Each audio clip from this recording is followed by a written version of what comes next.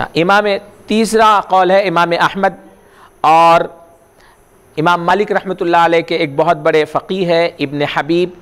ان کا بھی قول ہے کہ زمین پر پیشانی اور ناک دونوں کا لگنا واجب ہے، ضروری ہے۔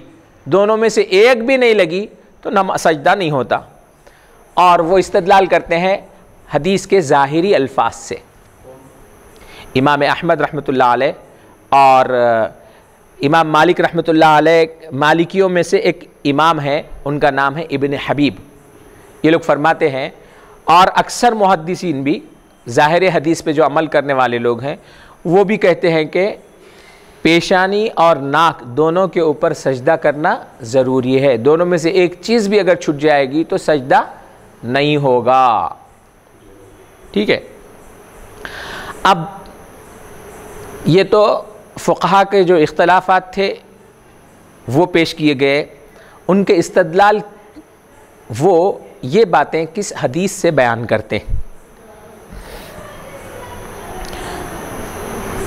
تو وہ فقہ امام اعظم ابو حنیفہ رحمۃ اللہ علیہ جس حدیث سے استدلال کرتے ہیں، وہ انہی کی حدیث ہے جو امام احمد اور دیگر ظاہر ظاہر حدیث پہ عمل کرنے والے جو علماء ہیں، انہوں نے جس حدیث سے استدلال کیا ہے، اسی سے استدلال امام اعظم ابو حنیفہ رحمۃ اللہ علیہ نے کیا ہے۔ انہوں نے فرمایا، وہ کہتے ہیں کہ سات اعضاء پر، حدیث میں ہے، سجدہ سات اعضاء پر ہوتا ہے۔ دو پیر اور دو گھٹنے کتنے ہو گئے؟ چار۔ دو ہاتھ کتنے ہو گئے؟ چھ۔ اس کے بعد کیا بچا؟ پیشانی تو پھر جب ایک چیز پیشانی ہے تو پیش مطلب یہ ہوا کہ چہرہ۔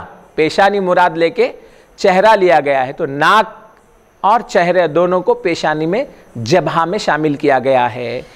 تو ناک زمین پہ ٹکے یا پیشانی زمین پہ ٹکے ایک ہی بات ہے، کیونکہ اور ایک حدیث میں اللہ کے رسول صلی اللہ علیہ وسلم، جس سے امام اعظم ابو حنیفہ رحمۃ اللہ علیہ استدلال کرتے ہیں، اس میں یہ الفاظ بھی ہے کہ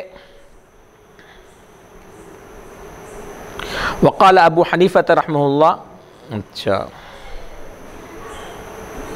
تو اس طرح سے اگر ان کی بات لی جائے، جو ناک پر بھی کرنا اور پیشانی پر بھی کرنا مراد لیتے ہیں اور ناک اور پیشانی کو الگ الگ آزو سمجھتے ہیں۔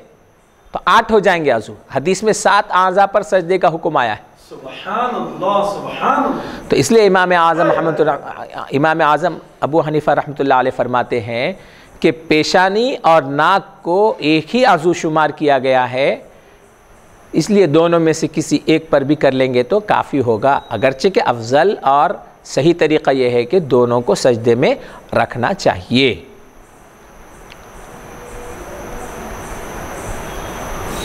ہو گئی بات اس سلسلے میں۔ یہ ایک تیسری، دوسری سنت تھی سجدے کی۔ اب سجدے کی تیسری سنت یہ ہے